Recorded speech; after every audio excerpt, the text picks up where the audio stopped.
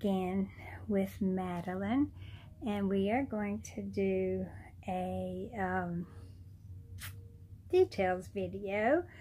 Um, she is the uh, sculpt by Sigrid Bock and her sculpts that she makes, she makes these gorgeous girls and I I don't know I was just perusing eBay and uh, this little girl popped up and I couldn't help myself.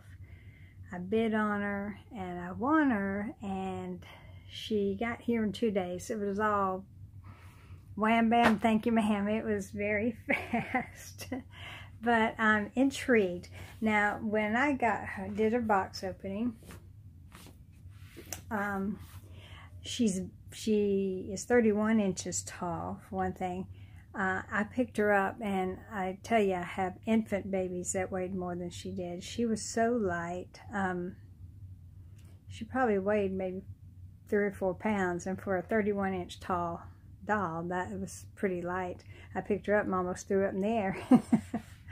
but um, anyway, um, so we did some surgery on her today and uh, found out why she was so light. She was mostly just fluff. Um, she only had just a little bit of um, um, glass beads in her feet and hands. Um, she did had a little in her torso, um, but that was about it.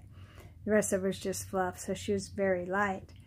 But um, I did her, she is now got, can I have this? Madeline, thank you.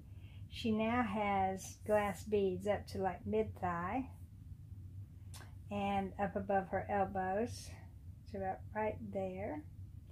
Um, I stuffed her body a little bit fuller and tighter so she can now stand up on her own as she sits up nice and straight. Um, I put a little bit of um, weight in her head and uh, I did um,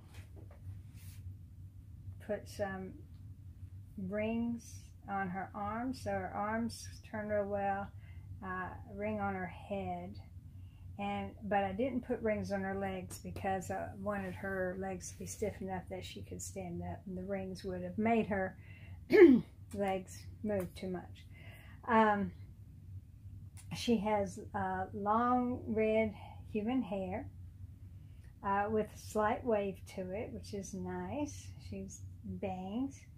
Um, very pretty brows, and she has these green eyes with a tad of blue around the outside of them. Beautiful pink lips. Uh, a nice shade on her lips and on her cheeks she's nice and pink. Um, so her hands come together as if she were going to hold a ball or hold on to something. Um, now, something really odd about this is her body. Let's see if I can. She has on a necklace that came with it. It's a cross with pink beads on it. It's really cute. Um, but this is her body. It's not a um, flesh tone body. It's um, blue with little uh, white hearts on it, and it's got this little uh, sticker here that's got bunnies on it. And I asked the lady at Sotomayor, she said that is uh, a custom for Sigrid's dolls, so it was a custom body. And at first I didn't like it, and then I got to thinking, uh, she's always going to have clothes on anyway, and we always put these little undershirts on them anyway. So it just looks like she's wearing an undershirt. So, you know, I'm okay with it. Um, I'm fine with it. she has very pretty, her nails are done very well. Um, the veining on her is a little too prominent for my liking, but it's okay. It doesn't bother me. Her bangs hide the veins on her head, and it's okay. She she has a great coloring wonderful coloring, nice, you know, little modeling and pink on her knees. Let me stand her up here. Her legs are a little tight, and I did that on purpose so that she would be able to stand. But let's see, are you seeing her? Yeah, she's got these little pink knees. Kind of skinny little legs. And when she stands, she does stand a little um, pigeon-toed, but that's, that's okay. Um, what else can I tell you about it? Oh, she has pierced ears, which a lot of my toddlers now do.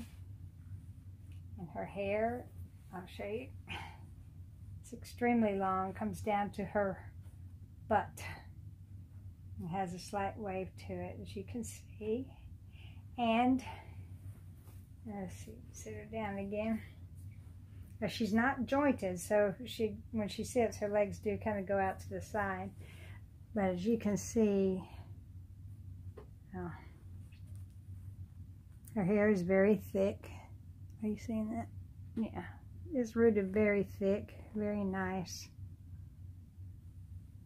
Yeah, and uh, I struggled. I think I told some of y'all this in my comments. Oh, she wears a size 4 shoe. Um, this shirt that she has on is a 12 months. Uh, and her shorts actually are 18 months.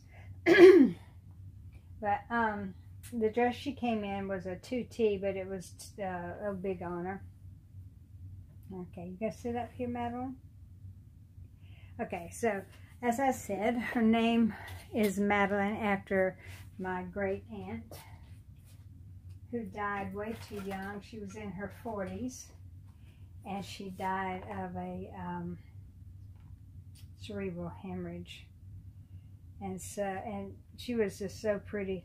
So I named her Madeline after my Aunt Madeline. And I named her middle name Jade because of the beautiful green eyes that she has. So she's Madeline Jade. And um, I what I said, uh, what I was saying before when I was talking about in some of the comments I told you, some of you, I struggled with how to spell her name.